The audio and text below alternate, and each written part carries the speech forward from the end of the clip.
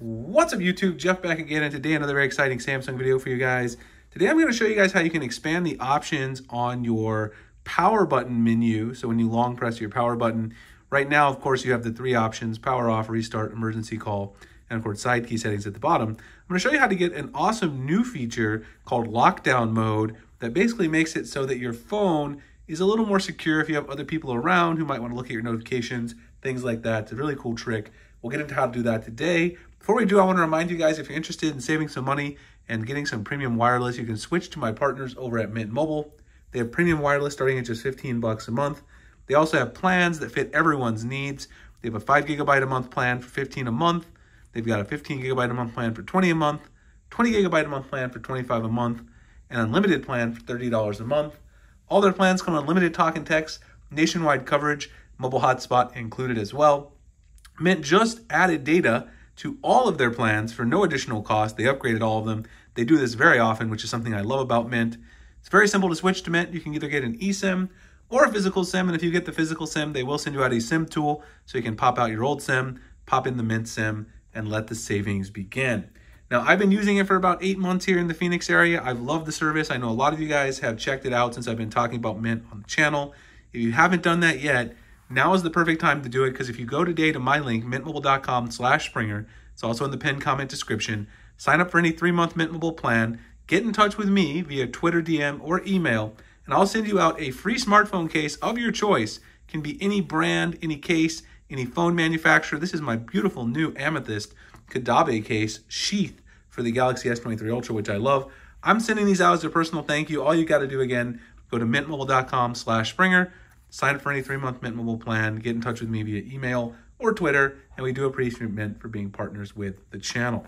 So let's go ahead and talk about this awesome feature where you can expand your power button menu options to include lockdown mode.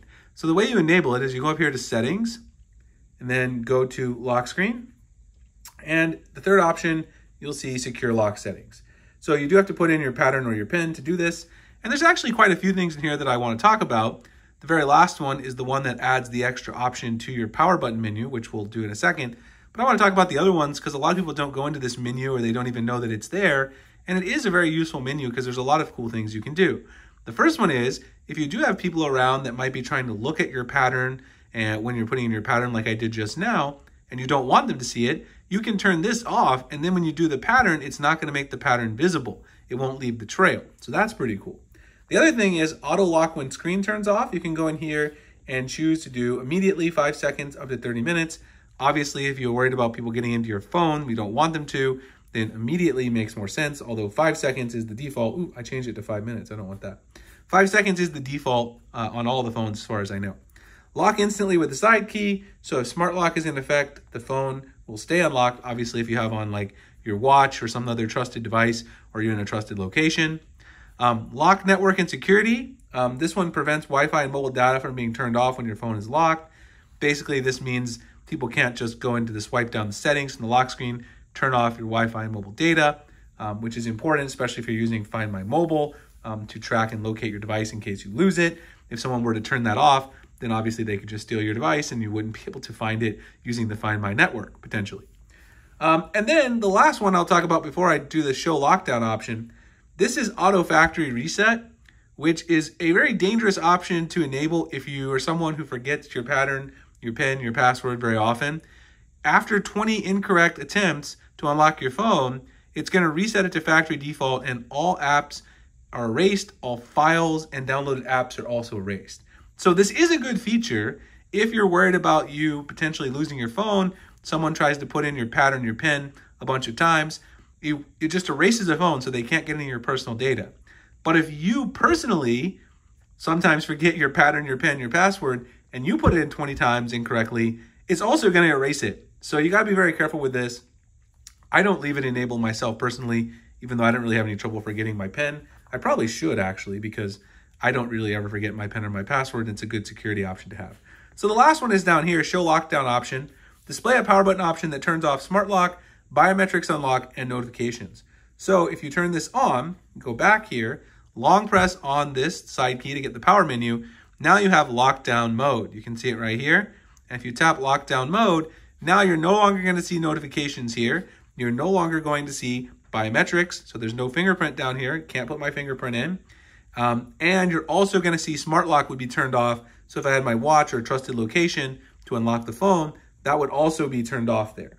So then, of course, you can you know go back here from the lock screen and turn it on. And then once you hit the button, it only does it one time, right? So lockdown mode basically is on until you unlock the phone with your pattern or your PIN, password, whatever. And then it's back to traditional. You can use your fingerprint again. Smart lock will work. Your notifications will be back there. So basically, if you're around somewhere, you don't want someone trying to snoop on your notifications on your lock screen, it's great for that. Just go ahead and turn on lockdown, and then your notifications won't show until you go back into the phone again, and then you'll be able to also use your biometrics. Anyway, some really cool security options inside the lock screen settings that I think a lot of people don't really dig into. Something you should check out if you use this Galaxy phone. Again, hope you guys enjoyed the video. Like, comment, subscribe.